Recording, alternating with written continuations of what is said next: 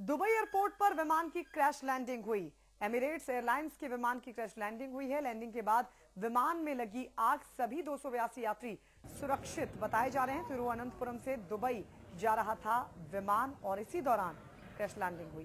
ये तस्वीर हम आपको दिखा रहे हैं। तिरुवनंतपुरम से दुबई जा रहा था विमान जिसकी क्रैश लैंडिंग हुई लेकिन सभी यात्री सुरक्षित हैं।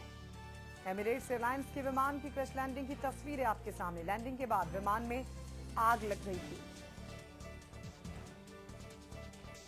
सभी दो सौ बयासी यात्री सुरक्षित बताए जा रहे हैं। इस विमान में दो सौ बयासी यात्री सवार थे। तिरुवनंतपुरम से दुबई जा रहा था ये विमान और इसी दौरान दुबई एयरपोर्ट पर विमान की क्रैश लैंडिंग हुई। एमिरेट्स एयरलाइंस का ये विमान था जिसमें दो सौ बयासी यात्री सवार थे। सभी यात्री सुरक्षित बताए जा रहे हैं।